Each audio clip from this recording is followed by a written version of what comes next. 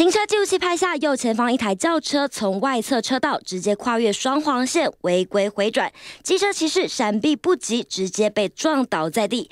再看一次画面，轿车一次跨越两个车道违规回转，又没注意周边状况，车头直接撞上机车，造成骑士身上多处擦挫伤。汽车的部分了，那就是涉嫌违反《道路交通管理处罚条例》四十九条，哈，跨越双黄线啊，跨越双黄线。那罚则的部分是呃九百元。事情就发生在星期二早上八点多，台北市内湖的瑞光路上，肇事驾驶为了贪图方便，违规回转，导致事故发生。不仅得吃上罚单，还得赔偿机车骑士。正是所谓欲速则不达。记者徐曼家台北报道。